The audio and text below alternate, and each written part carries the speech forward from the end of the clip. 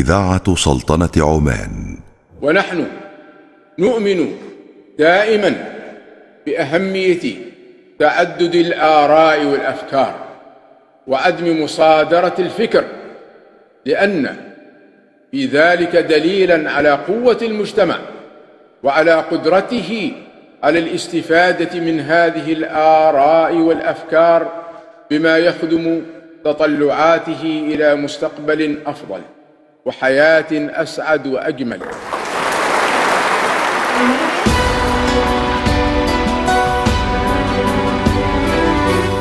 البث المباشر. مواضيع مختلفة على بساط الحوار.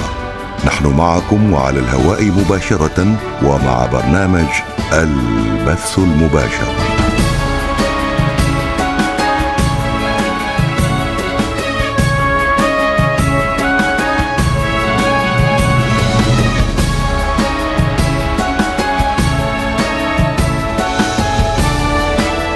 البث المباشر.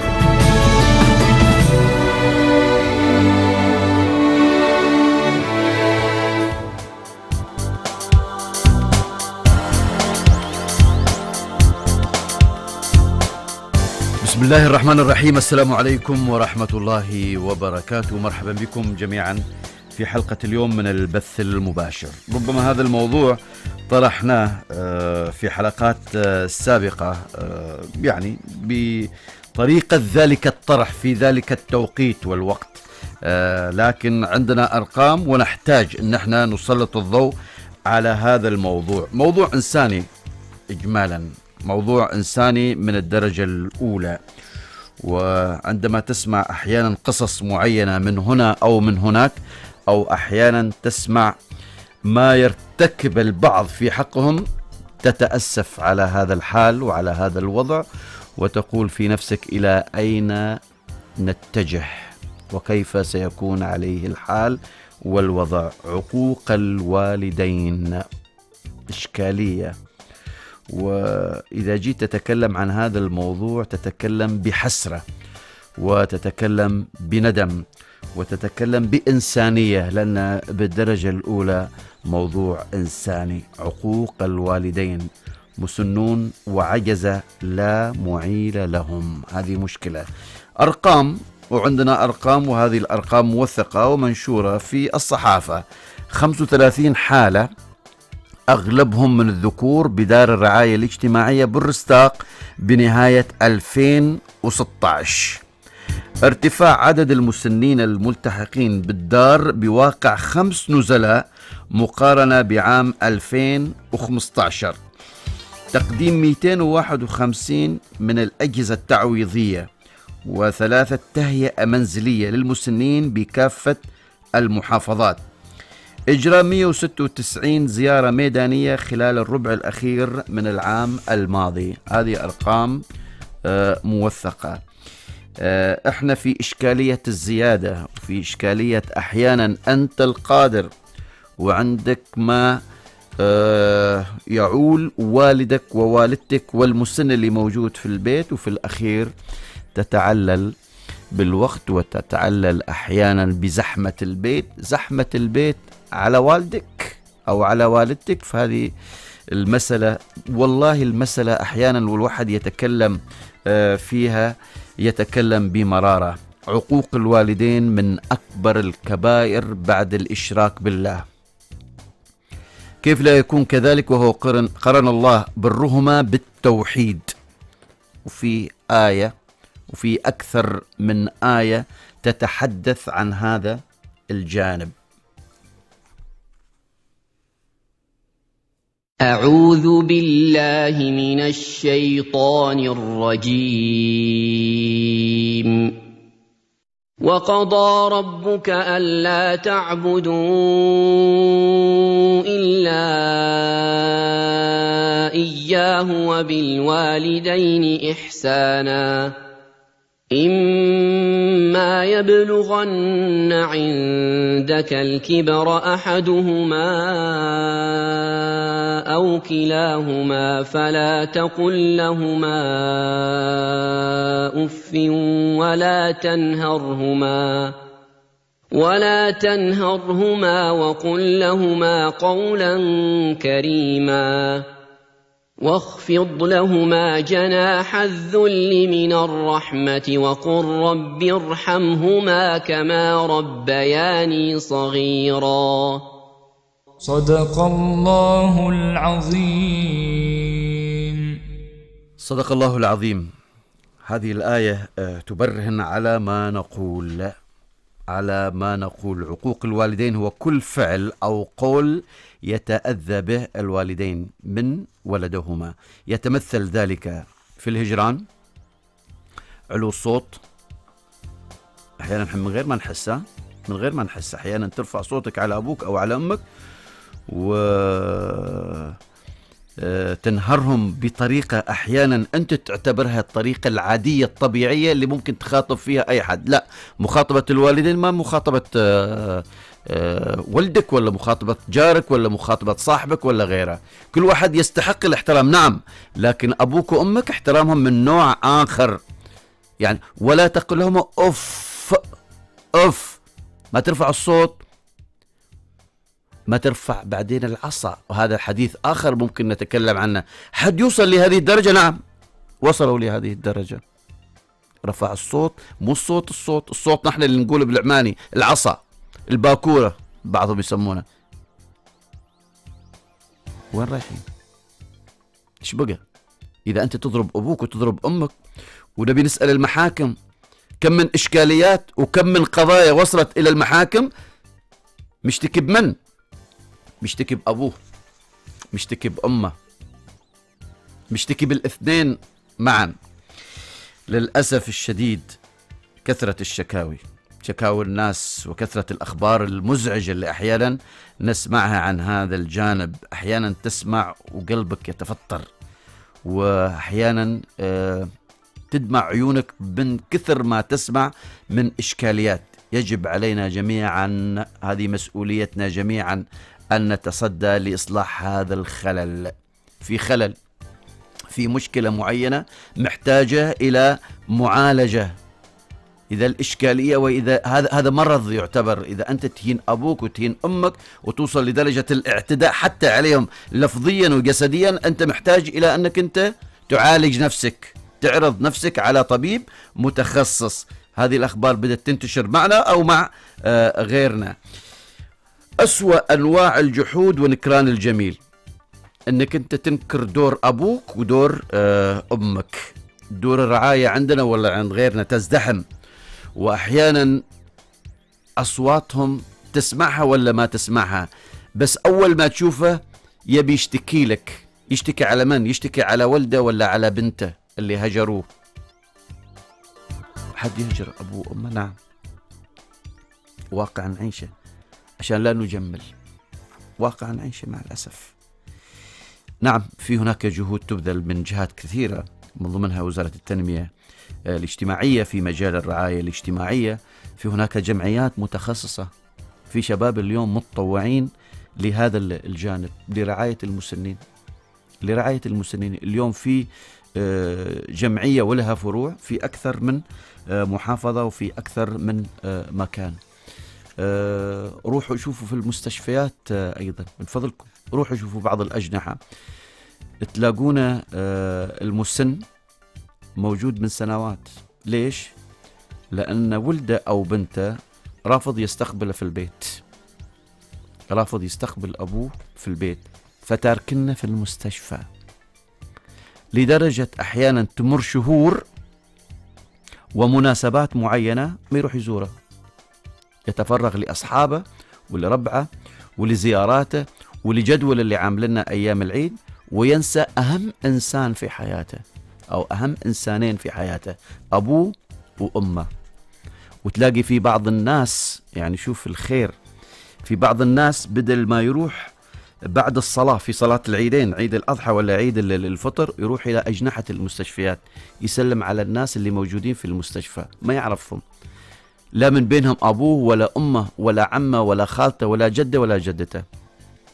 يروح يسلم على الناس وبعدين يروح فيما بعد يسلم على أصحابه. هذا موضوع محتاج جميعا نتصدى له قبل أن يستفحل وقبل أن تكون ظاهرة. نعم اليوم ربما نسمع حالات وأنا أتفق معكم حالات نادرة. بتقولوا لي يستوجب تعمل حلقة عن هذا الموضوع؟ أقول لك نعم. ما دام سمعنا حالة ولا حالتين الخوف الخوف أنها تكون ظاهرة وظاهرة كل ما تنتشر من الصعوبة. إلا عاد إذا اشتغلت جهود وجهات معينة لهذا الموضوع. هذا هو آه، موضوعنا. حابين نسمع حالات. نبي نسمع نبي نوجه اليوم رسائل آه، معينة آه، كيف ممكن نتجنب الوقوع في هذه الإشكالية. قبل أن نتعرف على ضيوفي هذه في البداية أجمل تحية من فريق البرنامج تماظر الوهابية وتحياتي أنا خالد الزجالي وفي الإخراج سيف الجرداني. البث المباشر. منكم أقرب. اثنين أربعة. ستة تسعة. واحد أربعة. أربعة ثمانية.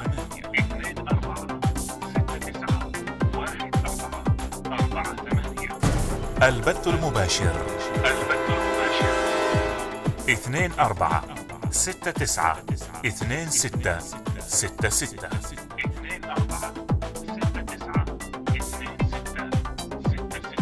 البث المباشر منكم أقرب. أقرب.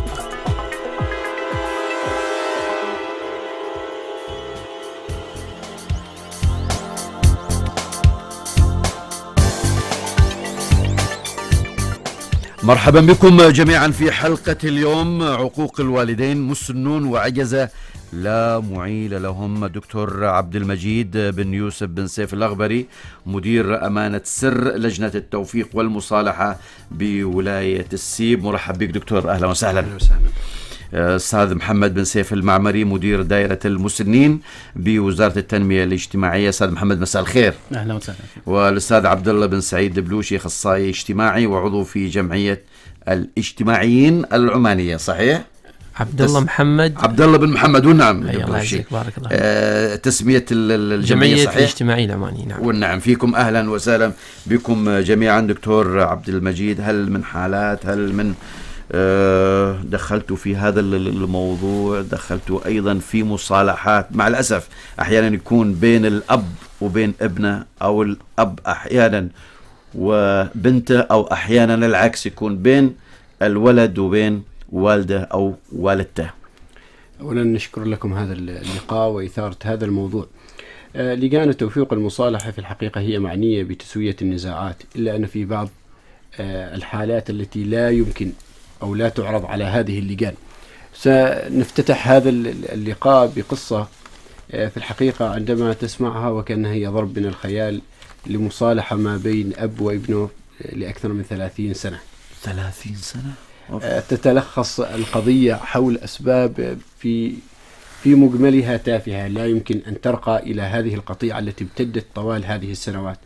آه، والد لديه بعض الأعمال التجارية عمل وكالة لأحد أولادي آه، الولد الآخر آه، أخذ في خاطري وقاطع الأب. استمرت هذه القطيعة. طبعا قطيعة الأب ليس بالضرورة أن يمتد تمتد له اليد أو أو أو يعتدي عليه جسديا وإنما مجرد أن تقاطع الوالد صحيح. آه بدون السلام هي تعتبر آه يعتبر عقوق عقوق. عقوق أحسنت؟ واستمر على هذا 30 سنة. 30 سنة. بعد 30 سنة آه يبدو أنه آه تدخل. كبر الأب كبر الابن آه، فلجأ إلى لجنة توفيق المصالحة من اللي الم- قبل؟ الأب الابن. الابن. الابن. آه لقى وعندما عرض الطلب الكل كان قد يأس أن يعالج هذا الموضوع. وفي تدخلات كانت قبل؟ كانت توجد. توجد تدخلات؟ تدخلات ولكن قد تكون آه الجرح عميق. مم. وقد تكون آه، بادرة ال- الإبن ليست آه، بتلك ال- الحماس أو آه، بقدر بقدر عظامة عظمة أيضا الإلحاح. دكتور نعم. والإلحاح إنك أنت تطيح على أبوك بلهجتنا تطيح على أبوك وتبوس له راسه وريوله. مرة مرتين ثلاث بينازعك بيسوي إن شاء الله بيرفع الصوت. طبعاً. بيرفع الصوت له- ما في اشكاليه له, الحق له احسنت الحق له احسنت الحق. نعم. آه، ملخص الموضوع أنه لجأ إلى لجنة توفيق المصالحة في تلك الولاية مم. وفضيلة القاضي انتقل مع طاقم اللجنة إلى بيت الأب. جزاه الله خير. عندما وصلوا لديه في بادئ الأمر استقبلهم. عندما و- واستغرب. وجد ال- الابن امتنع لكن آه، عندما وجد هذا المبادرة. استقبلهم. الله. وبدأ يتكلم وتركوا له مطلق الحرية في الحديث. لعل هذا يمكن أن يجمع الشمل.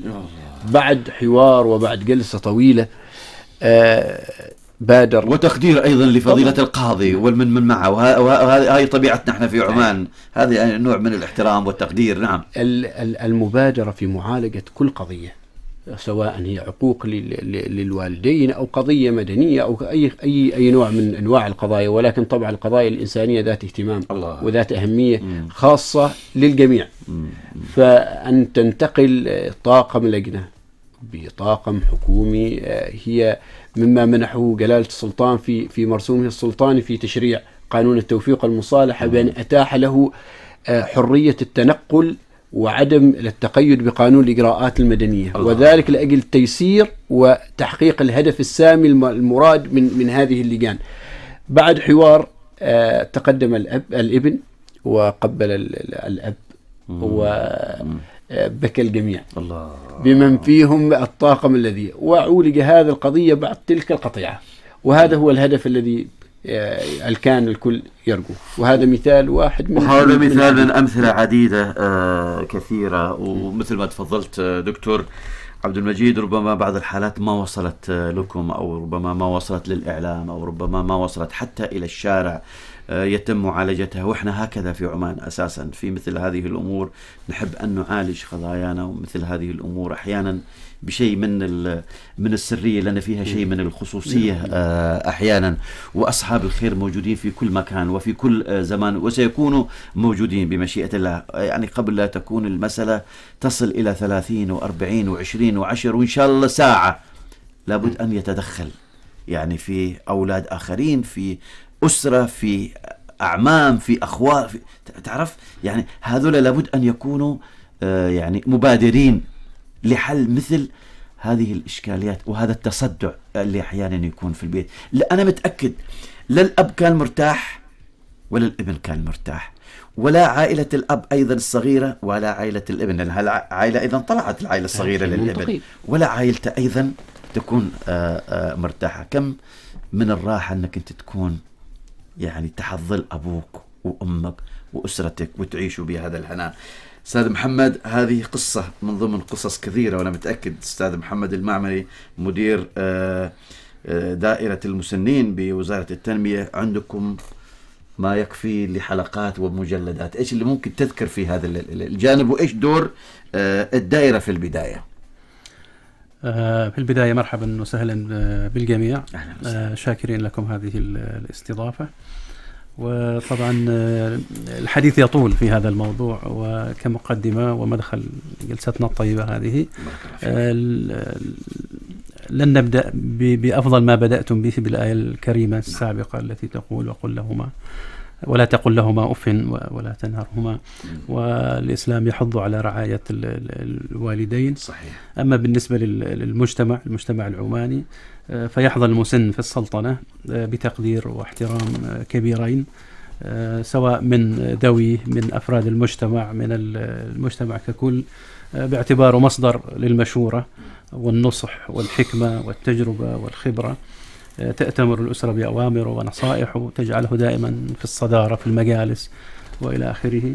آه، ما يتعلق بالوزارة وزارة التنمية الاجتماعية هناك آه، جهود كبيرة وعميقة جدا. آه، نبدأها من بداية إنشاء الوزارة في العام 72 وحتى اليوم.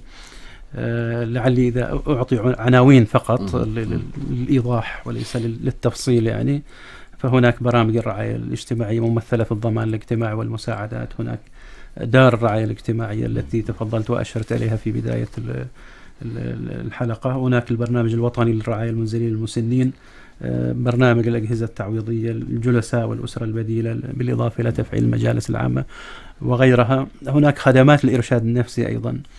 الدائرة دائرة شؤون المسنين هي دائرة آه، حديثة كليا أنشئت في مارس 2015 آه، بهدف آه، يعني وضع الأطر التنظيمية فيما يتعلق بشؤون المسنين ودعمهم ومساندتهم والتراخيص فيما يتعلق بإنشاء مراكز خدمة المسنين وكذلك توفير قواعد بيانات ومعلومات حول قطاع المسنين. آه، ما يتعلق بهذه الحالات آه، هو حقيقة حتى الآن ما أنه يوجد رصد بال- بالمعنى الصريح ولكن آه، قد تكون موجودة في المجتمع سواء كانت يعني حالة مثلت مشكلات بينية وصلت إلى أروقة المحاكم أو في المستشفيات. متى تتدخل أستاذ محمد المعماري؟ نحن نتدخل في أي وقت؟ في أي وقت؟ في أي وقت وفي كل يطلب وقت. منكم أو ما يطلب منكم؟ باعتبار وجود آه، دائرة شؤون المسنين الآن تدخلنا آه، راح يكون في أي وقت. وذلك من واقع آه، اختصاصات هذه. آه، فيما يخص يعني موضوع شؤون المسنين بشكل عام. سواء كحالات أو أو كوضع يعني. إيه. آه. يعني إحنا اللي آه نتمناه آه دائما يعني قبل الوصول إلى لجنة التوفيق والمصالحة وقبل الوصول أيضا إلى دار الرعاية أو آه أحيانا بعض الاختصاصات لوزارة التنمية الاجتماعية أو جهات معينة حكومية أو أهلية إحنا نتمنى أن تكون هذه العلاقة الحميمية ال- ال- ال- الجميلة الراقية في البيت ال- ال- ال- الواحد وأن لا تنتقل وفيما بعد لو وصلنا إلى طريق أحيانا ربما يكون مسدود أو غير. أنا ما أتكلم عن المسنين اللي أحيانا محتاجين إلى أمور معينة. أنا أتكلم عن الوالدين تحديدا. أن لا يعني نترك يعني ولو ولو ولو شيء بسيط يحتاج أحيانا تدخل أي جهة من الجهات. يعني إحنا إحنا كأولاد لابد أن نقوم بهذا الدور وبهذا الواجب لأنه واجب علينا شرعا ودينا ومجتمعا وكل هذه وانسانيا. يعني أحيانا م- م- أحيانا من لا دين لا بس أحيانا مهتم بوالديه و- ومن الواجب عليه. انسانيا أن يهتم بوالديه. تتخيل؟ يعني من لا دين ما ما بالك إحنا عندنا هذا الدين العظيم وعندنا ما يحثنا على هذا الأمر من خلال آيات قرآنية متعددة ومختلفة وأحاديث المصطفى عليه الصلاة والسلام ويحثنا على هذا ال- الأمر. آه، أستاذ عبد الله البلوشي ماذا تقول؟ وأنت رجل أخصائي اجتماعي وعضو في جمعية آه، معنية بهذا ال- ال- الأمر. آه، بالنسبة لظاهرة رعاية المسنين وكذلك أيضا عقوق الوالدين المرتبطة بها إحنا في المجتمع العماني طبعا مجتمع محافظ ومجتمع له قيمته وكذلك قيمة كبير السن في المجتمع العماني. لكن ما يحدث خلال الفترات الماضية من بعض الممارسات وكذلك من بعض التصرفات من بعض آه، الأمور لا بد أن نقف فيها. وبين قوسين نقف على ما يسمى بالتنشئة الاجتماعية وهي التنشئة التربوية الأسرية في المنزل عندما ينشأ هذا الابن على أي هيئة على أي هيئة وعلى أي شكل يهيأ هل هو يشكل على أن يرعى هذا المسن الكبير عندما كان يوما من الأيام أب أو أم وفيما بعد ينتقل إلى دور أنه مسن وذلك أيضا دوره أيضا في غرس القيم والمبادئ. أيضا تشرب هذه القيم والمبادئ عند الأبناء كيفية التعامل معها والتفاعل معها؟ إحنا عندما نجد هذه المشكلات عندما نجد أب أو ابن يضرب آه، يضرب أبوه أو أم أو, أو, أو أم تشتكي من ابنها أو أم آه، ربما يضربها ابنها أو أم ربما في دار المسنين أو دار العجزة. هذه مواقف مؤلمة جدا. قبل أن تكون مواقف هذه كانت عبارة عن أفكار وأيضا عبارة عن تصرفات. لا بد كانت أن تقف عليها مسألة التنشئة الاجتماعية. فقول الرسول صلى الله عليه وآله وصحبه وسلم كل مولود يولد على الفطرة فأبواه يهودان أو يمجسان أو ينصران فبالتالي هنا مسألة مهمة جدا هي مسألة التنشئة الأسرية التي نشأ عليها هذا الفرد بحيث أصبح ردة فعله ردة فعل قوية أو سلوك حاد تجاه والديه لا بد أن نقف معها وإن شاء الله بإذن الله خلال مسارنا خلال هذه الجلسة سنقف على مسارات التنشئة الاجتماعية والتنشئة الأسرية وكذلك أيضا من خلال المواقف التي شاهدناها وكذلك أيضا من خلال ما لمسناه كجمعية اجتماعيين عمانيين وكذلك أيضا كباحثين اجتماعيين في المجتمع العماني. وفي هناك أيضا جمعية تحمل نفس هذه التسمية رعاية المسنين فلهم كل تقدير حقيقة دورهم مقدر ونتأكد أيضا آه، بتعاون آه، كبير ووثيق آه، بين وزارة التنمية الاجتماعية وبين آه، هذه ال- ال- الجمعية.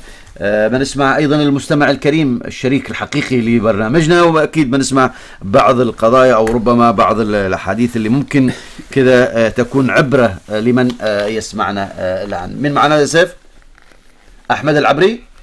عبد الله العبري. تفضل اخ عبد الله السلام عليكم. عليكم السلام ورحمة الله. يا خالد كيف الحال؟ طيب. الحمد لله. بارك الله فيك يا أخي ونشكر ضيوفك الكرام. تفضل أخي الكريم. آه، طبعا أنا ألقي كلمه يا أخي للإخوان وللمجتمع. أن يراعوا الآباء والأمهات يعني. أهم شيء الآب والأم يعني في, في الأسرة. زين ألا يتكلموا عليهم ألا يرفعوا صوتهم ولا يرفعوا أيديهم عليهم لأن هذا ربيوهم من يوم, يوم الصغر. ربيوهم وكبروا طيب. واشتغلوا وتوظفوا وولدوا وفي النهاية يعني عق والديه أنا صراحة أقدم لهم نصيحة. زين من هذا من هذا المنبر. فأي شخص يعني يحترم والديه ويقدرهم. ما على خلاف ثانيا حتى إذا مثلا صاح مريض ما يقول أنا صراحة ما هذا والدي أو والدتي ما ما عودهم لا. طيب. لك حين قيامه. طيب. طيب شكرا شكرا جزيلا لك عبد الله آه، السؤال الثاني يا خالد بخصوص آه، بقول هذا مشان الجمعيه من من السنين لا. كيف يستقبل يستقبلوا هذه الحالات يعني؟ مم.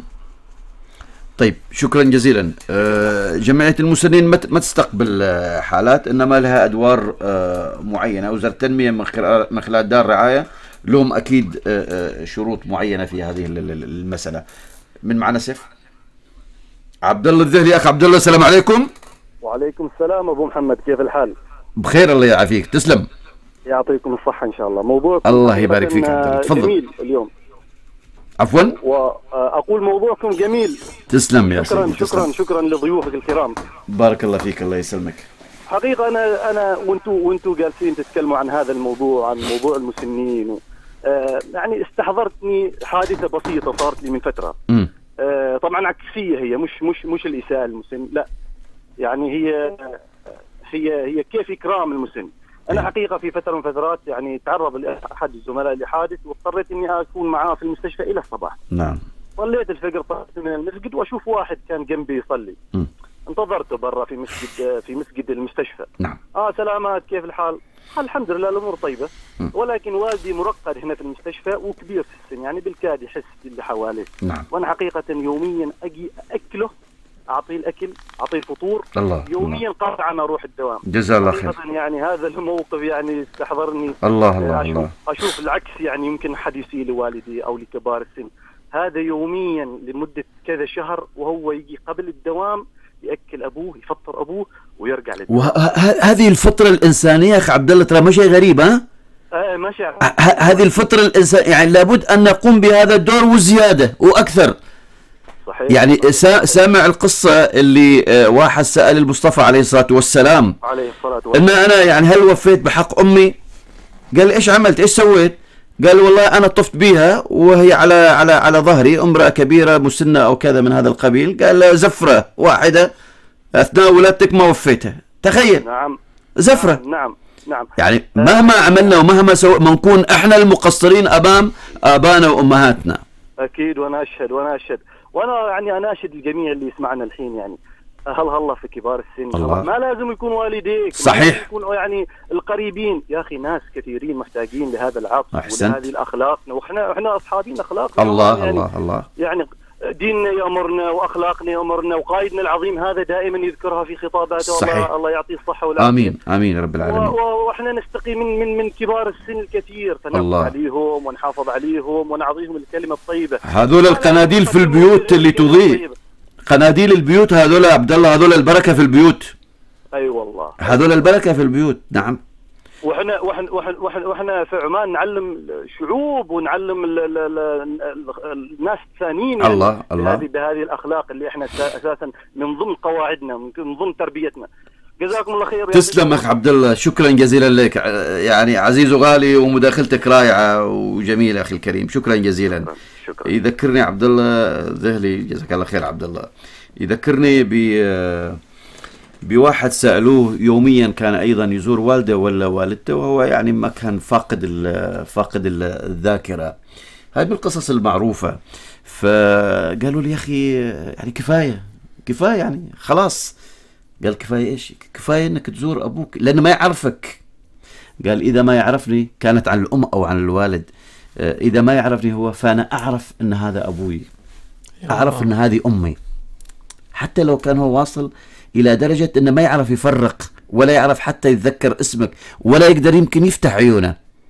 بس أنت تعرف اللي مرقد هناك هو أبوك وأمك. قال شوف الرد البليغ. قال إذا ما هو يتذكر وإذا ما يعرف بس أنا أعرف أن هذاك أبوي أو أمي اللي موجودة.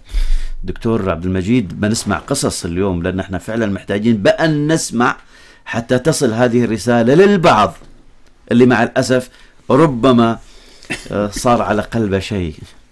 يعني ربما شيء بعض الغبار صار عليه. وما عرف إن هذا ابوه وامه بعد الله سبحانه وتعالى للفضل في وجودنا اليوم على هذه الحياة.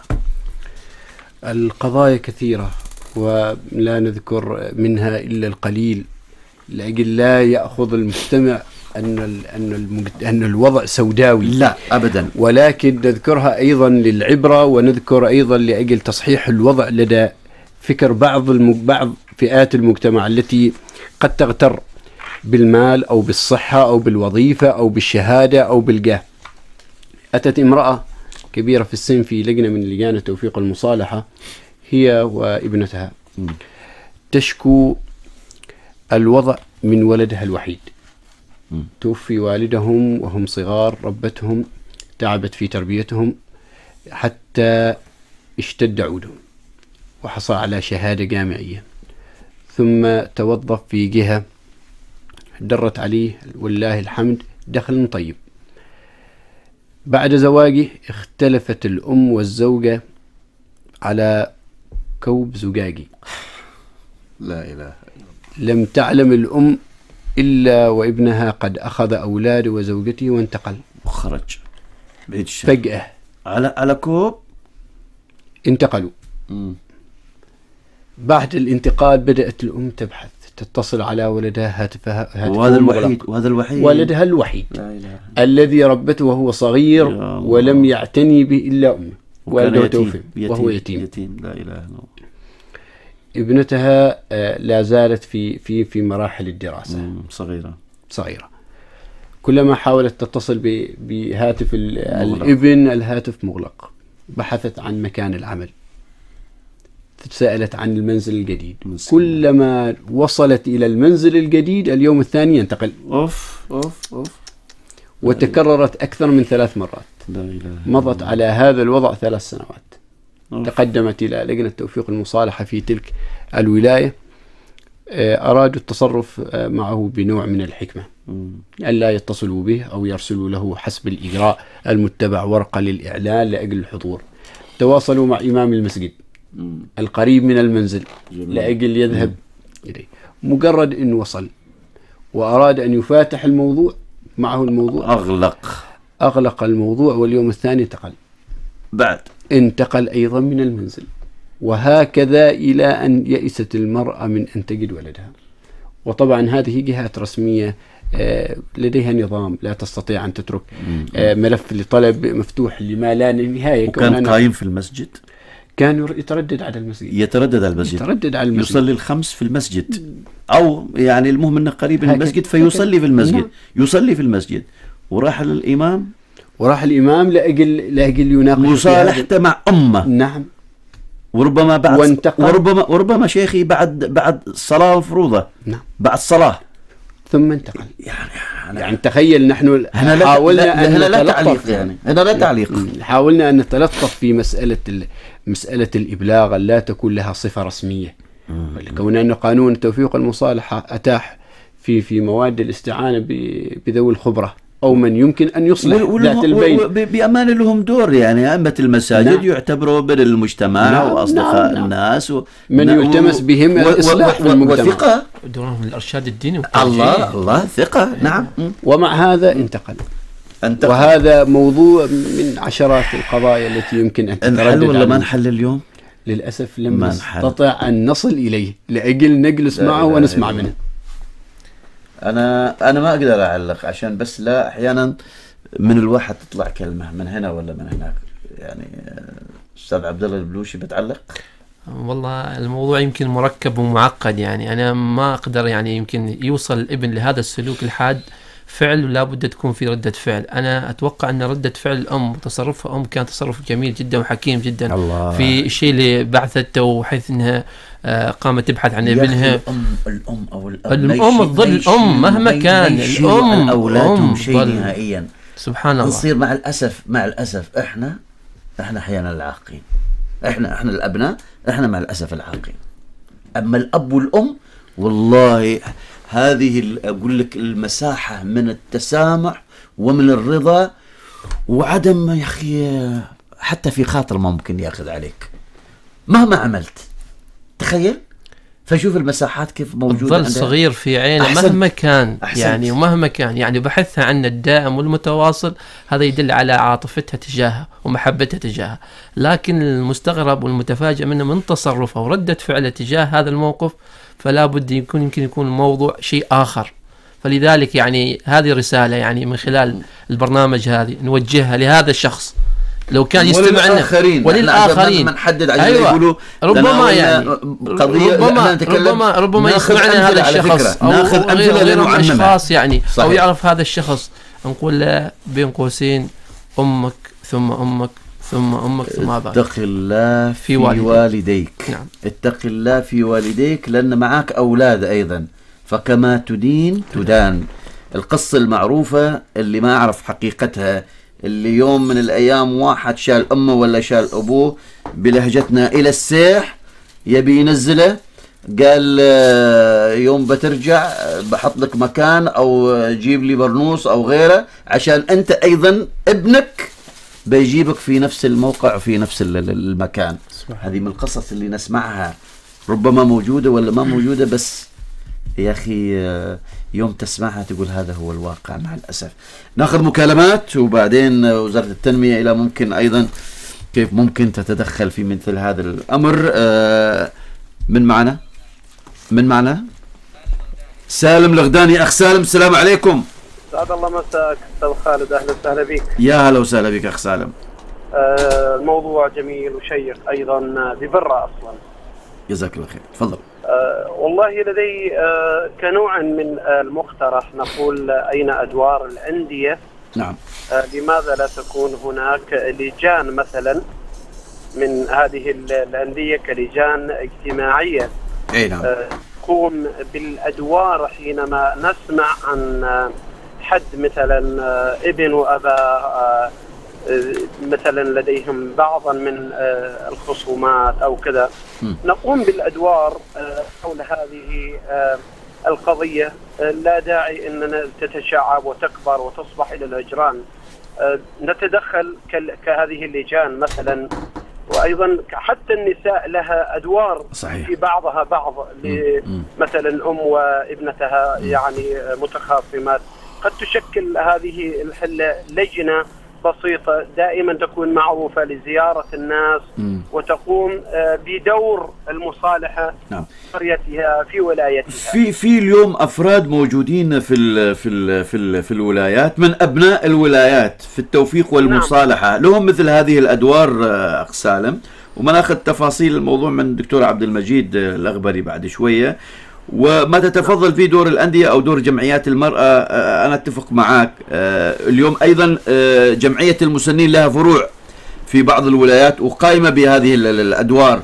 الدوائر المعنية بوزارة التنمية الاجتماعية أنا أتوقع هذه من ضمن مهامهم أيضا في ولاياتنا.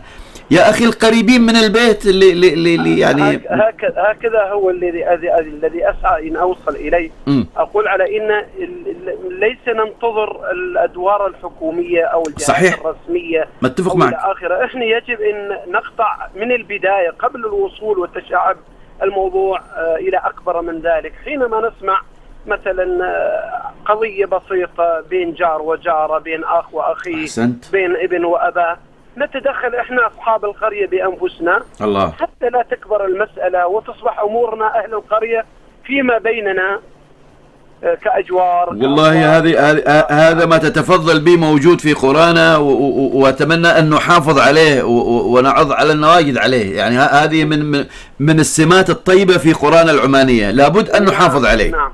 نعم. نعم. نعم. شكرا جزيلا. جزاك الله خير جزاك الله خير. اخ سالم جزاك الله خير. هي فعلا أحيانا تكون قضية بسيطة يكون التدخل السريع فيها لقطع يعني أي أي أفكار ربما أو تصرفات فيما بعد نوصل لدرجة أحيانا مثل ما تفضل دكتور المجيد القضية تظل 30 سنة. في مشكلة ولا ما في مشكلة؟ يا أخي نسيناها. خلاص نسينا إن في مشكلة أساسا. لكن مشكلتنا نظل نتخاصم أب وابن. 30 سنة هنا الإشكالية. يعني كيف كيف كيف حلالي عيش من غير ما أكون مع أبوي ومع أمي؟ كيف أتهنى بأعياد دينية؟ ولا إحنا طقوسنا في عمان لنا طقوسنا الخاصة في عمان وأنا بعيد عن أبوي وعن أمي. في الآخر أنا أقول لي لولدي ولا بنتي تقول لي ليش ما نروح عند جدي؟ إيش تقول له؟ أنا زعلان على جدك؟ اللي هو أبوي ليش ما نروح عند جدتي؟ أنا زعلان على جدتك على جدتك يا فلان. جدتك من؟ هي أمك. تخيل كيف ممكن يكون الجواب وكيف ممكن تكون ردة فعل الأبناء. على أحيانا كلمة أو تصرف ما نعرف أبعادها نهائيا. من معنا سيف؟ من؟ المحاربي من؟ أحمد المحاربي. تفضل أخ أحمد. السلام عليكم. وعليكم السلام حمد المحاربي. تفضل أخ حمد أهلا وسهلا بك. محمد بن حمود بن ناصر المحاربي من حمي ولاية بلبيت تفضل أخي الكريم. أبو محمد آه، كلامك طيب وشيق وبرنامج آه، محبوب للجميع وعن صلة الأرحام وعدم القطيعة، القطيعة ما ما تجوز. يعني قطيعة الرحم عن صلة الأرحام وفرض. وأحاديث الرسول صلى الله عليه وسلم تدل على ذلك وتحث المسلمين والمسلمات آه، أن يتواصلوا ما بينهم. ولكن الآن في تواصل اجتماعي وفي أش... أ- أشياء تواصل اجتماعي واجاده ولكن آه، الناس مشغول يا أستاذ خالد. مم، التواصل الاجتماعي ولا قطيعة اجتماعية صارت يا حمد المحاربي. يعني نا... ع- يعني أخوة 30 سنة ما ما يلتقيوا وما يكلموا بعضهم أو أخ وأخت. هذه المصيبة يا أستاذ خالد. والله صاير قسم بالله صاير. ما- صاير صاير. محق أنت صحيح. والخطب صلاة الجمعة والإمام يبكي والناس تبكي وعندما لو إحنا حاضرين حاضرين وإحنا نبكي ترى إحنا نبكي بعد. إحنا نبكي مع الخطيب. بس مقاطعين أبونا مقاطعين أمنا. شاكي على أخوي. يوم الأحد بنتلاقى عشان آه، عامل تكرمون بالوعه بجنب جنب البيت. إيش هذا؟ آه، يعني حادث الرسول صلى الله عليه وسلم على عليه عيوننا والمحافظة وال... وواجب الناس. يا أخي قبل لا تود الآخرين ود أهل بيتك. نعم. لا نكون ممثلين ونعمل, ون- ونعمل أنفسنا أبطال تمثيل. وإحنا قاعدين نمثل على أنفسنا. ولا ولا ولا نلبس أقنعة. نلبس اقنعة في البيت قناع وفي الشارع قناع وفي المسجد قناع وعند أصحابك قناع وفي المسجد نكون دور هذاك التقي ال- الورع. وبعد شوية تروح آه، إلى البيت آه، تسمع صوت والده ضاربنا بصوتين. لا إله إلا وهذا هذا واقع. هذا واقع. ما أنا ما أتكلم من خيال نهائيا. صح يعني أول قال الله تعالى الصلح خير. لا هذه ما ما ما, في ما, في ما فيها آية هذه. الصلح خير أنا أتفق معك لكن ما أعتقد إنها آية هذه. آية في القرآن الكريم. قرآنية من أي سورة؟ و- الصلح خير. والصلح خير. والصلح خير نعم. والصلح خير. مم مم مم. ها؟ نعم نعم صحيح. آه، القرآن ي- يحث المسلمين جميعا. مم. الإنسان جاره آه، غير المسلم عنده جار غير مسلم يوده. كان الرسول صلى الله عليه وسلم وأخلاقه وسيرته وسيرة الصحابة وأهل بيته الكرام.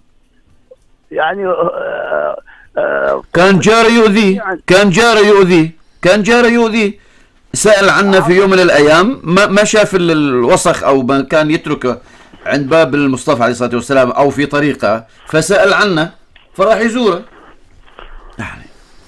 ما بالك أنت تعمل قطيع معه شكرا أخ حمد شكرا جزيلا لك أخي الكريم أستاذ خالد. آمرني. ما يمر عليك عادة. نطلب من الجميع من الخطباء من العلماء من المشايخ من الو- الولاة أن يحث الجميع للمحبة والأخوة وهو ناشد عبر إذاعة سلطنة عمان الأخوة والمحبة بين المسلمين جميعا. إن شاء الله. كلنا يد واحدة وكلنا قلب واحد. وكلنا من أمة محمد صلى الله عليه وسلم. من كان يحب محمد صلى الله عليه وسلم لا يؤذي جاره.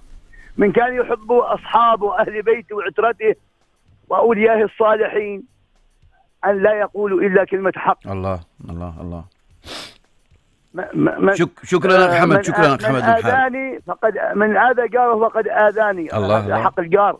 والسيدة فاطمة الزهراء عليه السلام رضي الله عنها آه، عندما بشروه قال بشرتوني بجار. جار أهم شيء الجار قبل الدار.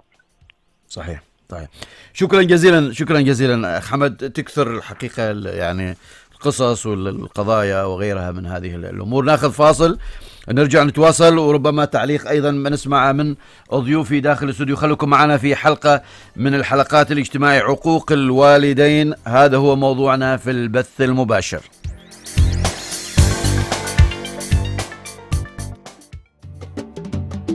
من أجلك الآن. مستشفى مغربي وعلى مساحة أكثر من 2000 متر مربع. وبعد إضافة ثلاث غرف عمليات وثلاث عشر وحدة تنويم جديدة بمواصفات عالمية وبخبرة عشرين عاما في السلطنة مع طاقم من أفضل الأطباء والاستشاريين وأساتذة الجامعات المعتمدين من أكبر الجامعات والمعاهد الدولية. وزارة الصحة تمنح مركز مغرب الترخيص كمستشفى ليصبح مستشفى مغربي الأول والوحيد المتخصص في العيون والأذن بالسلطنة. اتصل الآن على 909 54 909 مستشفى مغربي للعيون والأذن مسقط. لتنبض حواسكم بالحياة. البث المباشر. منكم أقرب. اثنين أربعة ستة تسعة واحد أربعة أربعة ثمانية.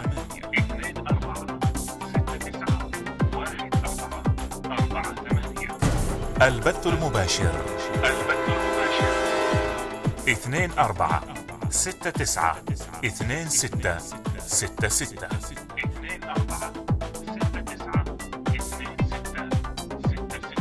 البث المباشر منكم.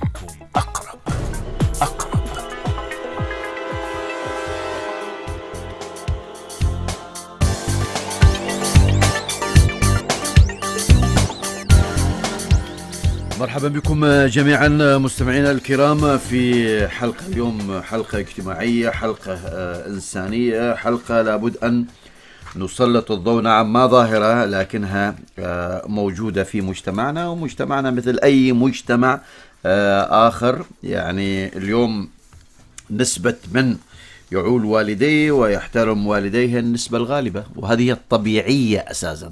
هذا الأمر الطبيعي. النسبة القليلة نعم نسبة قليلة آه، موجودة. ولا تشكل أي شيء آه، في مجتمعنا التراحم ال- ال- ال- هالمجتمع التراحمي المتماسك الجميل اللي فيه من الخصال ال- ال- الكثير والكثير حقيقة. آه، لكن يوم تسمع أحيانا آه، والله يعني تستغرب آه، لدرجة إنك أنت تقول إحنا وين موجودين؟ ولوين رايحين؟ ويا رب أحسن الخاتمة و وحبب يعني آه، أولادنا فينا وإحنا وإحنا نتمسك بأولادنا حتى فعلا يعتنون ويهتمون آه، بنا. لأن لأن هذه هذه هذا خيط وهذه سلسلة آه، متواصلة. دكتور عبد المجيد. بن يوسف الغبري مدير أمانة سر لجنة التوفيق والمصالحة بولاية السيب. مرحب بك دكتور. مرة أخرى. أستاذ محمد بن سيف المعمري مدير دائرة المسنين بوزارة التنمية الاجتماعية. مرحبا بك أستاذ محمد. والأستاذ عبد الله بن محمد البلوشي أخصائي اجتماعي عضو في جمعية الاجتماعيين ال- العمانية. سمعنا بعض ما آه، سمعتم آه، أستاذ محمد ال- ال- المعمري آه، في الدائرة وبشكل إنساني وبجهودكم الشخصية أو أحيانا بحكم الوظيفة كيف نمنع كيف نوقف كيف نتدخل لمنع مثل هذا الأمر؟ تمام لنقترب كثيرا يعني من ملف المسنين إذا بهذه الصورة. أي. وبالتالي نحن نقول أن هناك 141 ألف مسن في السلطنة. وهي تمثل نسبة آه، تقريبا 6% من ضمن أي إحصائية أستاذ محمد؟ آه، إحصائية 2015 آخر 15. أي. آه، آخر ما توصلنا إليه. فإذا هم يمثلون 6% وبالتالي فإن مثل هذه الحالات قد تكون فعلا موجودة ولكنها لا, لا تمثل مثل ما تفضلت وقلت لا تمثل القضية كلها لا. هناك يعني آه، موضوع التراحم والتواصل أكثر بكثير وأعمق آه، في سلوكنا يعني كأفراد وكمجتمع آه، من الحالات التي لا نرحب فيها ولا نتمنى أن تكون نعم. يعني موجودة في في إطار آه، مجتمعنا آه، لعل هناك أربع محادثات هاتفية آه، كانت قبل قليل آه، معظمها والله عم تنادي وتطالب بمراعاة الوالدين والتخلق بأخلاق الإسلام وال- والعادات في ال- في- واللطف في في التعامل معهم وإلى آخره باستثناء مكالمة واحدة التي يعني نادت بموضوع آه، إبراز دور الأندية واللجان آه، صحيح. الاجتماعية. نعم. وهذا جيد أيضا. بالضبط. هذا جيد. نعم. بالضبط. هنا ال- العودة إلى آه، المحور الذي بدأناه في البداية وهو يعني مؤسسات آه، تنشئة المجتمع. هي الأسرة وال- والمسجد والمدرسة والإعلام والجماعات وإلى آخره من هذه المؤسسات. يعني لعل مرد أي سلوك آه، لاحق. هو آه، تخلق ذلك الشخص الفرد يعني ب آه، نمط من نمط معين من التربية والتنشئة الاجتماعية في بداية ح- حياته. هناك كثير أيضا من المعتقدات والأفكار اللا عقلانية الخاطئة التي يرزح تحت وطأتها أفراد المجتمع. تلك التي آه، يميل آه، آه، بعض الأشخاص إلى انتهاج أو إلى سلوك سلوك معين تجاه القضايا المختلفة سواء كان ذلك السلوك عبارة عن مشاعر انفع- انفعالات أو حتى سلوك سلوك حركي أو لفظي. فبالتالي هناك جزئيتين جزئية المعتقدات الخاطئة وجزئية السمات الشخصية للشخص نفسه المأخوذة آه، مما تلقاه من تربية وتنشئة اجتماعية وثقافية تلك التي تشكل يعني إطاره المعرفي وبالتالي إطاره آه، السلوكي. ذلك الذي يدعوه إلى مثلا العناد والاستمرار في القطيعة والهجران والصد. بس وما- توصل لهذه الدرجة عشان أيضا آه، ما نعطي عذر للآخر. يعني والله تنشئتي كانت تنشئة ربما فيها من الصعوبة وفيها أحيانا من تحكم معين أو غيره أو ما تلقيته في بيتي. اليوم أنا ممكن أجازي في والدي ووالدتي بسبب والله لأن آه، في نقص معين في خلل معين في تربية معينة كانت من, من الوالد. هل هل يعني ه- هذه تكون مبرر لل- لل- للأبناء على أستاذ ال- محمد على محمد؟ على الإطلاق على أبداً. الاطلاق لكن أبداً. نحن نوصف معك. نوصف لعلنا معك معك اتفق يعني أتفق نعم الحالة. نعم. آه، تمام ما يتعلق بوزارة التنمية الاجتماعية قلنا قبل قليل أن هناك خدمات الإرشاد النفسي سواء عن طريق الدائرة أو بالتفاعل والتنسيق مع دائرة الإرشاد والاستشارات الأسرية فخدمات الإرشاد النفسي للمسنين كغيرهم من أفراد المجتمع هي متوفرة بالإضافة إلى أعمال التوعية الاجتماعية التي آه، تقوم وتطلع بها الوزارة في مختلف تشكيلاتها وتقسيماتها آه، على مستوى يعني فروع السلطنة بأكملها. آه، ما يتعلق بالدور والاختصاص فيما يتصل به اللجان اللجان الاجتماعية في الولايات هناك 61 لجنة تنمية اجتماعية تتبع مكت- مكاتب أصحاب السعادة الولاة هذه اللجان آه، هي آه، تعمل نفس عمل الوزارة تقريبا في وتحاكي اختصاصاتها. آه، ولعل كثير من هذه اللجان تطلع بالدور ال- الذي نتحدث عنها والذي نطلبه الآن آه، وهو لماذا لا؟ يعني تنهض بمسؤولية آه، احتواء مثل هذه الحالات وغيرها من الحالات التي تمثل حالات مشكلة أو حالات معضلة. آه، نعم هناك كثير من اللجان حسب علمي ومعرفتي آه، يعني تحتوي كثير من المشكلات سواء كانت مشكلات مسنين أو مشكلات أخرى غير المسنين آه، أيضا دوائر يعني دور التنمية توافقي دور نعم، نعم تصالحي نعم. دور نعم. آه، حتى في- على المستوى- تسديد آه، مصالحة هكذا يعني بالضبط حتى إنه على المستوى المحلي نستطيع ال- القول في الآن أن هناك دوائر التنمية الاجتماعية ممثلة في أقسام التنمية الأسرية. آه، تطلع بهذا الدور أن هناك لجان التنمية الاجتماعية والتي يشرف عليها أصحاب السعاده ويتراسها أصحاب السعادة الولاة. والوزارة طبعا هي التي تشرف عليها بشكل كامل.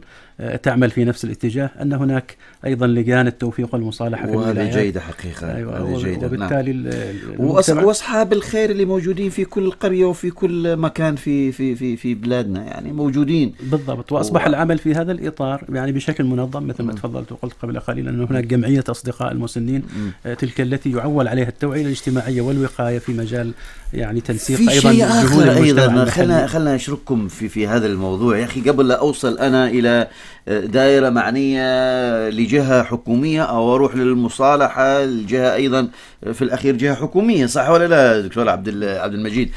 يعني آه، ابن اختلف مع أبوه تمام؟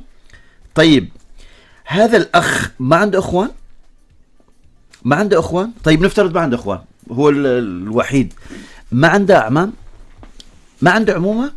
ما عنده اخوال خلينا نأخذها بالطريقة هذه بهذا التدرج. يعني العم ما هو أب أيضا؟ بالضبط الخال ما هو أب؟ الخالة أيضا ما محترمة من ال... من الابن؟ العمة ما محترمة مع ال... يعني ما ممكن حد يتدخل؟ يعني ابن في حالة طيش في حالة غضب في أي حالة من الحالات. أنا ما بعطيه عذر نهائيا لكن أفترض أن في هذه الحالة آه، تفوه بكلمة على على أبوه. هنا ما من الواجب قبل لا نوصل لهذه الدائرة أو تلك الدائرة أو نطالب الجمعية أو غير من يتدخل أو آه، إعلام يثير قضية أو خطيب مسجد يخطب بجمعة. أخ ما يقدر يهد أخوه بلهجتنا. ما يقدر ينازعه. ما يقدر يوقفه عند حده. عم ما يقدر يتدخل؟ وزمان كانوا يقولوا حتى الجار يربي الله أكبر أي. ربنا ربنا جيرانا يا أخي. بالضبط. عم عم يأدبك مثل أبوك. ترى الأدب مو معناه تأخذ خيزران و- و- و- و- ورقعة. صحيح. هذا النوع آخر. لكن آه، بكلمة بنصيحة طيبة، بتحذير آه، معين أو يعني كل هذه أمور إحنا وين عنها أنا متأكد أنها موجودة. واليوم يوم ما توصلنا كثير من الأخبار لأن آه، تؤخذ وتحتوى من الداخل. أستاذ عبد الله البلوشي هل هذه من أدواركم؟ هل هذه من رسائل ممكن توجهوها أيضا للمجتمع؟ يا أخي يمكن إحنا وسائل التواصل شغلتنا وايد وايد ألهتنا وايد جابت لنا أفكار من الخارج. إحنا محتاجين آه، آه، نعمل بين فترة وأخرى مراجعة لأنفسنا. إيش اللي قاعدين نقرأه؟ إيش اللي نتلقاه؟ من الصبح لين ننام من فيديوهات سلبية من كلمات سلبية من جروبات سلبية من أفكار أحيانا غريبة وعجيبة على مجتمعنا والبعض مع الأسف يبي يعملها واقع على مجتمعنا. أستاذ عبد الله البلوشي إحنا دائما يعني في مسألة موضوع ال- الناحية الاجتماعية. كمجتمع هي مسؤولية جماعية وإحنا كاجتماعيين في هذا الم... في هذا في هذه النقطة نقف آه، على على نقطة أهم حاجة هي مسألة التوعية والوعي. إحنا لما نتعامل على التوعيه ووعي المجتمع نركز على أهم فئة هم الأبناء نفسهم. لأن الإبن اليوم صغير في السن وإبن فيما بعد يكون إنسان ناضج شاب في المجتمع يقود المجتمع. فكثر ما كان تركيزنا على هذه الفئة بتقديم خدمات التوعية بتقدير قيمة بر الوالدين وكذلك أيضا الاهتمام بالمسن وكذلك أيضا رعايته وتقديم الاهتمام فيه في كيفية التعامل معه. نحن الحين حاليا لما نشتغل في برامجنا الاجتماعية وخاصة نقدم يحتاجين الحين حاليا ما يسمى الأسرة. وأنا الله، أنادي الله، بهذه بهذه بهذه المس- مرة ثانية؟ رخصة قيادة الأسرة. جميل. وإحنا وإحنا يعني ننادي بهذا في مجتمعنا العماني. مثل على مثل على سبيل المثال المجتمع الماليزي. كان مثلا على سبيل المثال نسبة الطلاق في المجتمع المالي تصل إلى 70% بعد نسبة تط- عالية. نسبة عالية بعد تطبيق البرنامج هذا ورخصة قيادة الأسرة مثلا قبل قبل لا يتزوج الشخص يدخل إلى رخصة قيادة النس خفضت نسبة المشكلات الطلاق. كم النسبة؟ وصلت إلى 7 إلى 5% يعني 7 إلى 5% أوف. نسبة كبيرة جدا. إيش اللي اشتغلوا ال- الخلطة السحرية؟ طبقوا برنامج رخصة قيادة الأسرة. قبل الشخص لا يتزوج أو يكون أسرته يأخذ له برنامج رخصة قيادة الأسرة. مثل ما الحين حاليا عندنا رخصة قيادة المركبات إيه. لابد تكون في رخصة لل- للأسرة وقيادتها وكيف تقيد الأسرة وكيف تكون ذا الأسرة وتنشأ عليها. من ضمن هذه الأشياء إحنا كم- كمنظور شخصي لهذا الموضوع أن أول حاجة خطوبة بلا صعوبة ربما. أو أول حاجة أول سنة زواج إتيكيت حل الخلافات الأسرية فيما بعد في بيتنا طفل. آخر نقطة في بيتنا مسن. يا أخي اشتغلوا عليه اعلاميا هذا الموضوع آه، عبد الله البلوشي هي من الأفكار اللي طرحناها إحنا زمان ونادينا آه، بيها اليوم إحنا نتكلم عن عقوق الوالدين. ما بيتكلم عن نسبة الطلاق معنا وتناولناها في حلقة من الحلقات وجبنا الإحصائية من وزارة التنمية الاجتماعية. شيء ما تتخيله. دكتور عبد المجيد كان موجود معنا. مشرفنا في هذه الحلقة كان دكتور عبد المجيد وكان عنده أرقام وعنده حوادث غريبة عجيبة توصل إلى, إلى اللجنة. محتاجين كلنا يا أخي نوقف أمام أي إشكالية تهدد مجتمعنا. تكامل أي الأدوار إشكالية. تكامل الأدوار تكامل الحلقات- أدوار. الحلقات ضرورة ملحة في المجتمع. إحنا ما نبغى نثرثر أكثر من نقول فعل. فعلا. إحنا وايد نسمع آه، أحيانا آه، تسمع آه، إيش يسمون هذاك المثل؟ ما أرى طحينا لكني أسمع. أسمع بس صوت ال- ال- ال- المطحنة. أسمع صوت المطحنة. إحنا محتاجين نسمع صوت المطحنة وناكل طحين. فعلا. اليوم كم من تغريدة كم من جروب كم من تويتر كم من إنستغرام كم من سناب شات كم من آه، آه، فيسبوك. نسمع ما نسمع. كم من فكرة اليوم يذكرها بعض وهم كثر الحقيقة الإيجابيين في وسائل التواصل. نبي أفكار إيجابية. ما, بي ما بغينا سوداوية ولا بغينا تشاؤم ولا بغينا إحباط ولا بغينا ولا بغينا يا النماذج نكسر. ميادين بعض أيضا نركز على النماذج الناجحة في المجتمع لأن دائما الحسنات يذهبن السيئات الله. وبالتالي إحنا لابد نركز على النماذج الناجحة في المجتمع النماذج الراقية في المجتمع آه، طموحات المجتمع مجتمعنا محتاج إلى أشياء تنوره أشياء آه، توصل له المعلومة بالسهولة. أيضا أشياء تجذب انتباهه أشياء توصل له الشيء وتحل أفك- مشكلته. أفكار غريبة جميلة قابلة للتطبيق في المجتمع. نشتغل عليها. التفكير خارج الصندوق أو التفكير بتفكير إبداعي هذا ما نحتاج له في بلسمة أو كالتعامل مع مشكلاتنا وليس التعامل معها بطريقة أحادية أو طريقة تقليدية. أيوه وما حد بيجي من أي مكان لا من المريخ ولا من الزهرة ولا من أي موقع آخر عشان يحل مشاكلك. إحنا في هذا المجتمع بنحل مشاكلنا بأيدينا وما بنحتاج من حد. أي فكرة خارج الأفكار اللي إحنا إحنا عندنا من الأفكار بما ممكن يدر ندرسها للآخرين آه، حتى. لكن ما فيسبوك يعلمنا آه، أو أحيانا آه، فكرة تجينا من الخارج ونتبناها ونقول هي هذه الأفكار الجهنمية اللي ممكن إحنا ناخذها. بعيدة عن عاداتنا وبعيدة عن تقاليدنا وبعيدة عن تماسكنا وبعيدة عن عن عن, عن قيمنا وعاداتنا وغيرها من هذه الأمور. ناخذ مكالمات. السلام عليكم.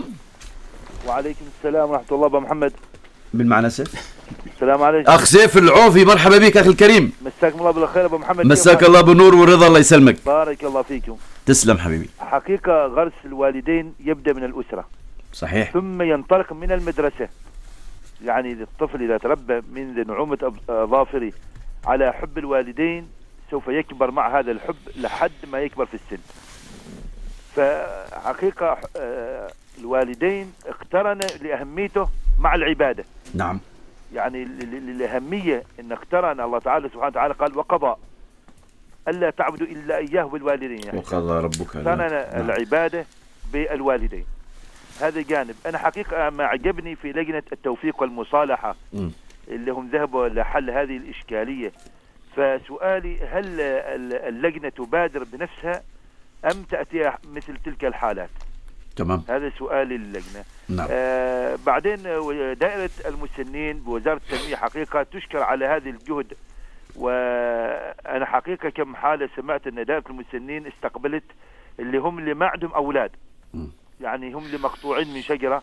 نعم. بعض المسنين كان في يعني كان أول لما كان في شبابهم أو استطاعتهم كان يقوم بإدارة شؤونهم. صحيح. لكن بعد أن وصلوا إلى مرحلة الش- الشيخوخة قامت دائرة المسنين باستقبالهم ورعايتهم. وحقيقة هذا في ميزان حسناتهم. وسؤالي لدائرة المسنين هل تقوم بتقديم خدمات ومساعدات إلى المسنين إلى منازلهم؟ تمام. آه إلى والسؤال المنازل. الأخير نعم. هل من تنسيق بين لجنة التوفيق والمصالحة وبين الجهات الأخرى في مثل تلك الحالات. طيب شكرا. شكرا لكم أبا محمد. شكرا جزيلا يا حبيبي شكرا جزيلا. آه، قبل لا نجاوب في أكثر من سؤال وجميل سيف دائما آه، من معنا؟ أخ سعيد السيابي مساء الخير. مساء النور يا أبو محمد كيف الحال؟ أهلا وسهلا بك أخي الكريم أهلا وسهلا بك. يا مرحبا تحياتي لضيوفك الكرام. جزاك الله خير. تفضل أخي الكريم. يعني آه، بس آه، أبو محمد آه، طبعا المجتمع العماني مجتمع واعي نعم. بالأشياء اللي تدور حوله يعني. صحيح. لكن إذا في تصرفات فردية من أسرة أو من شخص معين هذا مع- معناته إن المجتمع العماني ظاهره أو حاجة من الأشياء هذه في حقوق الوالدين. نعم. هنا آه، نطالب اللي هو التكثيف الاعلامي في مثل هذه الأمور واللي هو الوعظ والإرشاد في عامه المساجد والمدارس ومختلف الوسائل الأخرى. نعم. إن شاء الله إن شاء الله هذه. هذا اليوم جانب من من من, من, من أدوارنا في في الهيئة وفي القطاع السمعي تحديدا في الإذاعة إحنا نقدم هذه الحلقة. نعم. هي مثل ال- الفلاشات هذه نفس الشيء وكان اللي هي أبو محمد دور الكوميديا نفس الشيء يعني. في ال- البرامج ال- المحلية وكذا كان هذه نفس الشيء يعني يستقطب منها الب- البعض يعني ومنها تحل وتناقش قضايا وتحل قضايا نفس الحاجة يعني. نعم نعم. طيب يا سعيد شكرا جزيلا لك جزاك الله خير. بارك الله فيك بارك الله فيك. فاصل ونرجع إن شاء الله نتواصل في آه، الحلقة وأكيد آه، ما نعلق على ما ورد في المكالمات ال- الأخيرة. لا تكونوا بعيدين خلوكم معنا دائما مع البث المباشر.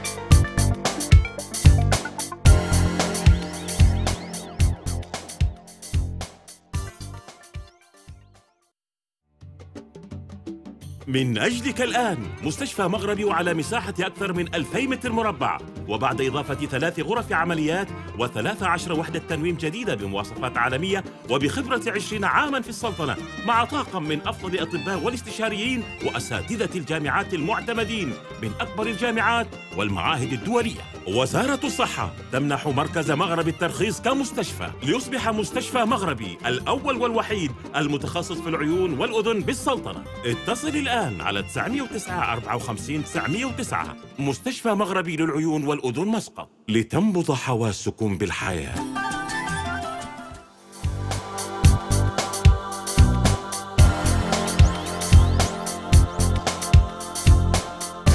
مرحبا بكم جميعا في حلقة اليوم. نتكلم عن موضوع آه، اجتماعي موضوع آه، إنساني كما يبدو. محتاجين أكثر من حلقة في هذا ال- ال- الموضوع. آه، دكتور عبد المجيد بن يوسف الأغبري مدير أمانة سر لجنة التوفيق والمصالحة بولاية السيب. آه، أستاذ محمد بن سيف المعمري ومدير دائرة المسنين بوزارة التنمية الاجتماعية. الأستاذ عبد الله بن محمد بلوشي اخصائي اجتماعي عضو في جمعية الاجتماعيه العمانيه مرحب بكم آه، جميعا. آه، سيف قبل شوية كان ومن كان بعد أيضا واحد من الإخوان. آه، سيف طرح أكثر من موضوع حمد ال- المحاربي وسالم الغداني هذول اللي اتصلوا قبل شوية. سيف كان آه، يتكلم عن المصالحة اللجنه آه، دكتور المجيد. نعم. آه، الأخ سيف كان يسأل هل تبادر اللجنة في في التقدم لمثل هذه الحالات. آه، القانون قيد اللجنة يجب أن يقدم آه، من ذوي الاختصاص من من ذوي المصلحة فيمكن أن يتقدم آه، أي كائن يمكن له مصلحة في في القضية المعروضة ويمكن أن تنتقل اللجنة إلى الدائرة أو مقر إقامة الطرف الثاني لأجل الإصلاح طبعا هذا وفق القانون والصلاحيات التي أعطاه إياه السؤال الآخر هل تنسق. اللجنة. ما بين الجهات للجنة أيضا الاستعانة بمن تراه مناسب لأجل إتمام الموضوع وأيضا هذا من مرونة القانون لأجل لم الشمل ومعالجة القضايا إلا أنه يحتاج لنا أولا بعدا عن القانون أن يقف الإنسان أولا ما بينه وبين نفسه لمعالجة مثل هذه القضايا. اليوم أنا بصحة وبعافية وبوظيفة وبشهادة وبمنصب أو بمال لكن سنة الحياة أن آه، يؤول الإنسان إلى كبر سن. فغدا آه، حالي سيبقى حال والدي وحال من سبقه وجدي وجدتي نعم. وهذه سنة الحياة أن يضعف الجسد وأبقى أنا لا أقول عالة ولكن أبقى محتاج أيضا لمعونة من هم أصغر مني سواء أبنائي إخواني أعمامي كائنا من يكون أن يمكن. فهل هذا الآن يحتاج إلى وقفة وجرس إنذار للجيل الحالي لأجل يفكر في الجيل الذي سبق سبقه أو هذا الجيل والجيل الذي يأتي هذه آه، نقاط يحتاج الإنسان أولا أن يقف بينها. نقطة مهمة أيضا آه، وهي ظاهرة أن الإنسان يجعل بينه وما بين أبنائه فجوة تؤدي إلى ظهور ظاهرة عقوق الوالدين وهو أن ينشغل الأب بأعماله وبمناصبه أو ويحاول أن يعوض هذا النقص بالمال إلا أنه لا توجد مشاعر ما بين الأب والابن تؤدي إلى وجود فجوة. على مر السنوات لا يجد هذا ال ال ال الابن شيء من العاطفة التي يمكن أن يتلقاها من الأب علما أنه ليس بعذر مما تؤول به الأسباب إلا أنه أيضا يحتاج إلى معالجة من الجيل الحالي وفي أكثر من جانب. قبل أن نبدأ إلى مسألة العقوق نبدأ إلى مسألة التربية ومسألة آه هذا العاطفة التي يجب أن تكون ما بين الأبناء لأجل نتدارك مشكلة يمكن أن تظهر في قريب الأيام. نعم عندك بعض الأشياء اللي ممكن كذا نؤكد عليها دكتور ونذكرها من باب العظة أيضا آه آه للبعض. نعم. وهي نقطة مهمة آه أن الخلافات لا يمكن أن نتوارثها. آه في مجتمعنا في كثير من الأحيان انقاطع الأب شخص ما سواء والديه أو أخوه أو عمه أو خاله أو كان يورث هذا الخلاف إلى أبنائه. فتصبح القطيعة بدل أن تكون ما بين شخص هي ما, بين عائلتين. عائلتين أو أسرة أو أو- وأسرتين أو- وت- وت- وقد أن تورث هذه لسنوات عديدة وتصبح قطيعة أو ما بين قبيلة وأخرى أو ما بين مجموعة أخرى أو ما بين قرية وأخرى. هذه إشكالية. وهذا نعم. مسألة توريث الخلاف. يجب أن يقف الإنسان وأن يتفكر هل هذا الآن السبب الخلاف الحق حقيقي؟ يحتاج إلى مثل تلك التضحيات وهذا الضريبة التي يمكن أن يدفعها الأبناء هي طبعا غير مجدية وغير وغير جديرة أن تدرس قبل أن أن نقول أنها هي في أرض الواقع. إلا أنه أيضا نقول ونرجع الوقوف إلى أساس المشكلة من المجتمع بنفسه قبل أن تصل إلى الجهات. الجهات الحكومية في الحقيقة لا تحتاج أن يأتي إليها شخص إذا كانت المواضيع تعالج صحيح. سابقا. المجتمع صحيح. يجب أن يقوم بدوره الحقيقي لأجل معالجة هذه القضايا. نعم. آه عندك قصة أو قصتين بنختم بيهم بعدين آه قبل نهاية ال- البرنامج. آه، أستاذ آه معمري آه في دائرة آه دائرة معنية بهذا الأمر وفي أيضا عندكم دار هو الدار الوحيد صحيح؟ بالضبط. اللي موجود في ولاية ال- الرستاق. ومن عمل إلا بعد آه، نتوقع كذا نداءات وأحيانا يكون نظرة الوزارة ونظرة الحكومة إلى بعض أحيانا من لا لديه آه، من يعوله. هكذا هذا أتوقع ما أي حد ممكن يدخل. آه، باختصار. في لكم شروط لكم يعني مواصفات معينة للأشخاص اللي موجودين معاكم في الدار؟ تمام. آه، بالنسبة لل- للدار هو في الحقيقة تم إنشاؤه في العام 79 وكان يعنى في ذلك الوقت بمرضى الجذام ما أن انتهت آه، هذه نعم نعم. آه، الظاهرة وهذا ذلك المرض آه، تم تحويله إلى دار الرعاية الاجتماعية. مم. ولأنه كان معظمهم مسنين في في ذلك الوقت. تحسبا لأي طارئ آه، الحكومة آه، في ذلك الوقت يعني أنشأت هذه الدار واستبقت عليها وتواصلت معها حتى يومنا هذا وتسمى دار الرعاية الاجتماعية في الرستاق هذه الدار آه، تستقبل آه، الآن آه، آه، حالات المسنين معدومي الأقارب. وهو الحاقهم بالدار هو الحل النهائي والحل الأخير. آه، وبحيث آه، أن الاتجاهات الوزارة آه، تهدف إلى إبقاء المسن في الوسط في وسطه الاجتماعي يعني الآن من لا لديه آه، أبناء آه، زوجة أخوة آه، حد يعيله باختصار إنه ما يكون بالضبط. بنفسه في البيت لي يعني لا قدر الله تقطعت شيء. به السبل. تماما وبقى في الحياة إيه، لوحده عشان ما نقول واحد واحد, بغى يودي أبوه للدار باكر ياخذه ويروح يوديه عندكم. ممنوع ما في. ابدا. ابدا ابدا ويشترط حتى يعني من بعد البحوث والدراسات بموافقة وكيل الوزارة. عمليا آه، ال- الدار هذه يعني ما يدخلها إلا الحالات معدومة الأقارب. أما حالات لديهم أقارب آه، ابدا مم. أبداً. عشان كذا عندكم تقريبا 35 حالة أو آه، زاد أو نقص لا حاليا بالضبط 35 حالة 35 حالة. منهم 25 حالة ذكر ورجل و10 إناث الذكور أكثر صح؟ هي نعم. الذكور أكثر. الحالات هذه وصلت في أعلى مستوياتها 38 حالة قبل شهرين ونقصت. الح- الوضع الحالي يعتبر آه، جيد و يعني مقبول, مقبول ع- إيه. في كل السلطنة صحيح؟ بالضبط هي يعني هذه الدار السلطنة كلها تستقبل هي الدار الوحيدة في السلطنة بالضبط الدار الوحيدة في ونحن السلطنة لا نهدف على الإطلاق إلى التوسع ب- في بالضبط إنشاء دور بالضبط للرعاية صحيح الاجتماعية آه، في عندكم أيضا تقديم خدمات آه، أخرى تقدموها للمسنين وربما آه، في سؤال أيضا آه، نسيته سؤال سيف هل تقدمون بعض الخدمات داخل المنازل. البيوت؟ في المنازل. نعم. عشان الوقت أيضا لأن 10 دقائق باقي معنا نعم. آه، هناك برامج كثيرة مختلفة ومتنوعة وذكرنا في البداية عناوين لهذه البرامج. آه، لعل من أهم البرامج هو برنامج الرعاية المنزلية للمسنين. وهذا البر- البرنامج برنامج وطني آه، استحدث في عام آه، 2011 آه، تحديدا تم تدشينه في 30 أكتوبر 2011 مم. وهو يأتي بالشراكة مع وزارة الصحة. هناك أيضا شركاء آخرين كجمعية أصدقاء المسنين والقطاع الخاص كممول.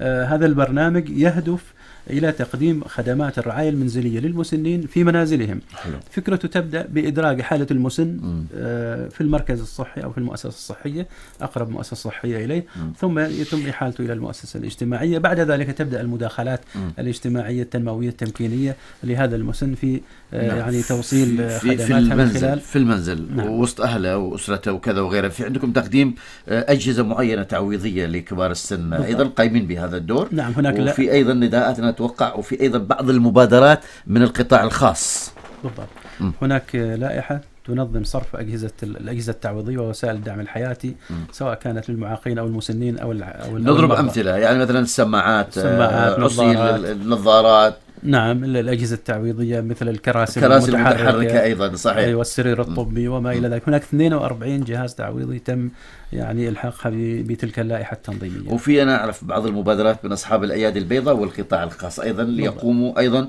بهذا الدور الإيجابي في المجتمع وهذه بوادر كلها إيجابية في مجتمعنا الخير نعم نعم. آه في سؤال أتوقع باقي نعم م. آه هذا بالنسبة لسؤال العوفي إيه سؤال العوفي بالضبط إيه. لكن أنا حقيقة فقط يعني قبل ما نختم وننهي البرنامج إيه، إيه. فقط حبيت أعرج على موضوع التضامن بين الأجيال الذي- كان قبل هذه الاستراحة إيه. آه وهو محور أصيل وأساسي أيضا من المحكات الدولية التي.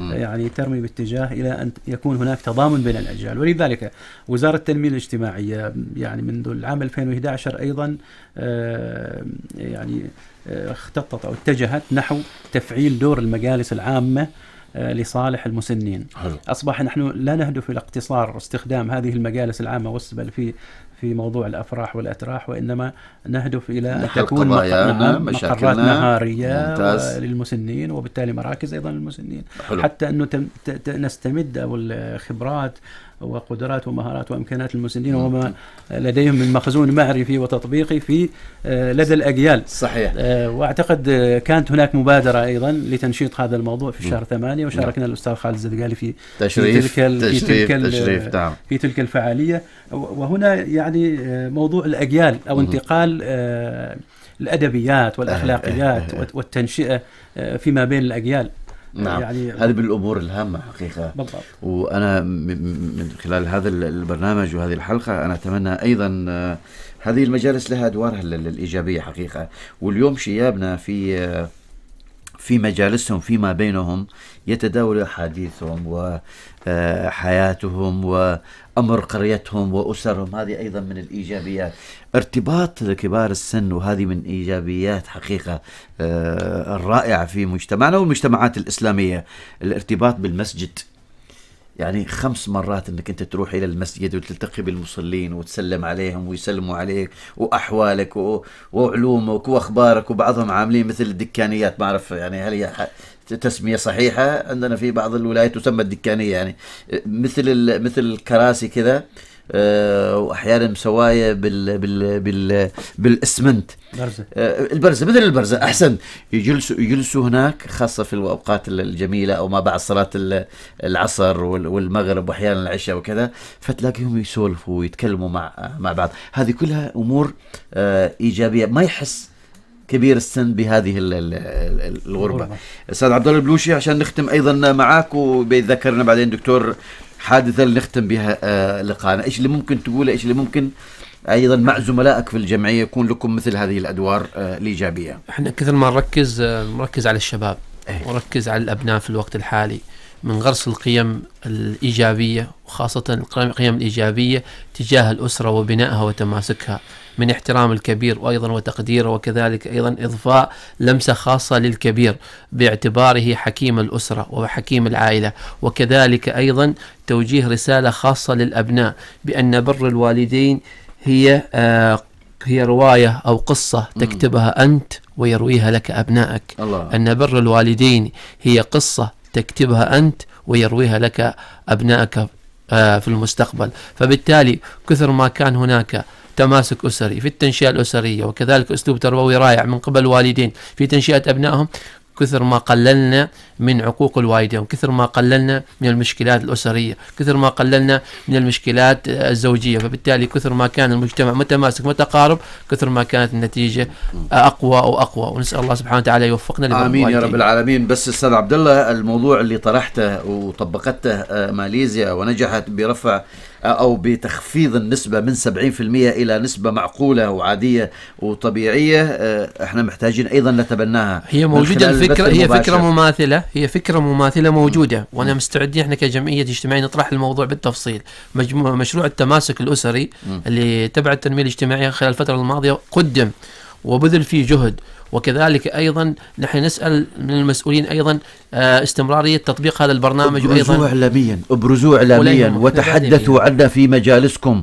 وحثوا الناس وحثوا الشباب على هذا الموضوع. ذيك اليوم آه، كنت في آه، في محفل جميل لوزاره آه، لجامعة السلطان قابوس برعاية آه، معالي الدكتور وزير آه، الصحة. مسك الميكروفون ويتكلم مع شريحة كبيرة من من أولادنا وبناتنا الشباب المقبلين على الزواج. يحثهم على موضوع إيش؟ على موضوع الفحص ما قبل الزواج. كانت بادرة كثير جميلة حقيقة من آه، معالي الدكتور وزير الصحة. إحنا مثل هذه الأفكار محتاجين فعلا نتكلم عنها ونتبناها وتكون حديثنا في مجالسنا وحديثنا أيضا في بيوتنا. دكتور عبد المجيد آه، في دقيقة بتذكر لي كذا موقف آه، موقفين على السريع؟ نختم بهم حلقتنا. قبل أن آه، أذكر هي حقيقة في موقفين سأذكرهم آه، على السريع ولكن هي تعليقة سريعة على قانون الأحوال الشخصية الذي كان وأكثر تفصيل عن حقوق الأبناء على على الآباء. وهو فصل في كثير من في كثير من المواضع. إلا أنه في ذكر حقوق الآباء على الأبناء لم يذكرها إلا في مواضع بسيطة كون أنها المنطق الذي لا يحتاج ولا يختلف عليه اثنين عن حقوق الآباء. على الأبناء الكثيرة. إنما ذكر في موضوع النفقة كون أنها هي أمر مادي حصرها في المواد من 61 إلى 68 عن آه وأذكر نص المادة 65 إذا كان كسب الولد لا يزاج لا يزيد عن حاجته وحاجة زوجته وأولاده ألزم بضم بضم والديه المستحقين للنفقة إلى عائلته. هذا من باب الحرص على الوفاء. آه كواقعة سريعة خلاف ما بين أخوين استمر تسع سنوات لقى أحدهم إلى اللجنة ووفقت آه ولله الحمد.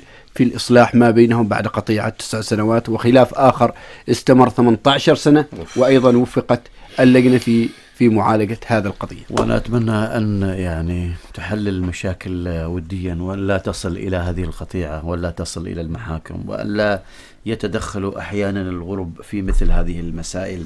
كما بدأنا بالآية القرآنية الكريمة نختم أيضا لقاءنا بنفس هذه الآية. أعوذ بالله من الشيطان الرجيم. وقضى ربك ألا تعبدوا إلا إياه وبالوالدين إحسانا. إما يبلغن عندك الكبر أحدهما أو كلاهما فلا تقل لهما أف ولا تنهرهما ولا تنهرهما وقل لهما قولا كريما واخفض لهما جناح الذل من الرحمة وقل رب ارحمهما كما ربياني صغيرا. صدق الله العظيم.